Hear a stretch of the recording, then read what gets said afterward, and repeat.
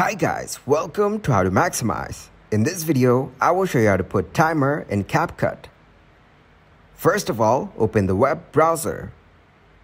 Search NewPipe here in the search bar. Then click on the NewPipe link.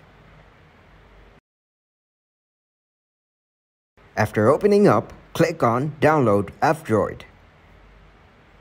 Now open YouTube. Here, search green screen timer video. Click on the three dots, then click on share. Then click on the more option.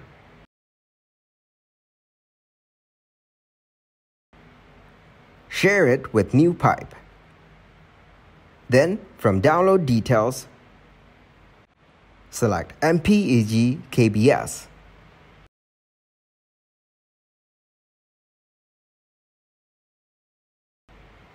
Then open the CapCut app.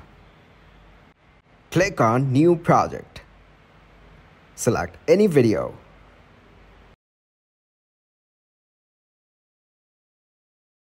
Then click on Add Overlay.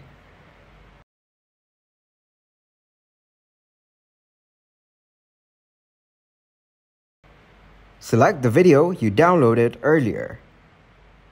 Now click on the Remove Background option.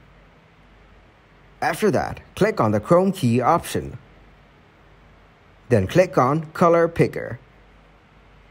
After that, minimize the intensity. You can do video for more editing.